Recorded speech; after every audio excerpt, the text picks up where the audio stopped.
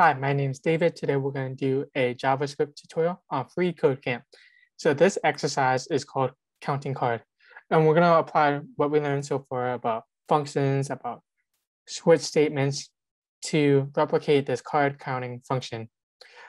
So what it wants us to do is that we have a function that takes in card and the card could be a string, could be any of these possible strings or numbers here.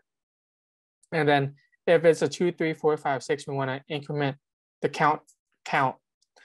If it's a seven, eight, nine, is doesn't change. And if it's a negative, if it's a 10, jack, queen, king, or ace, we want to decrement the count. And then if the count is a positive number, we return the count and the count and then bet. If it's a negative or zero, we want to return the count and hold. So, and then these cards are what's going to be inputted and they have, and we can look at the test example here that they're putting in two, they're putting in three and so forth. So what they want us to do is that we have to look at the card. So we're going to have to do a switch statement. So switch, looking at the card, and then curly brackets. And then we have a case of two.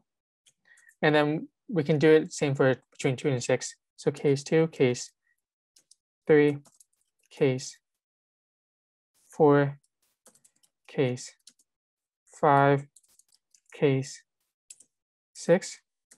We want to increment the count and then break.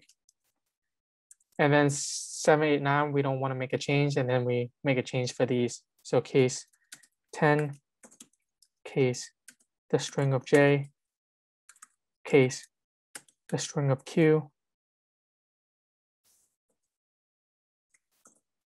case, the string of king, case, the string of a. We want to decrement the count and then break. And then lastly, we can use an if else for the last part. So if count is positive. And this needs to be outside of the, the switch. If count is greater than zero, we return the count plus the string space bet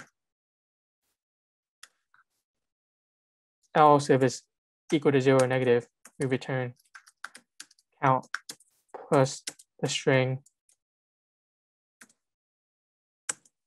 hold. And we can get rid of this line. And that'll be it. We have the case statements for the card. We're incrementing, decrementing, and then returning the count and bet or count and hold. And that's it for this one. Thank you so much.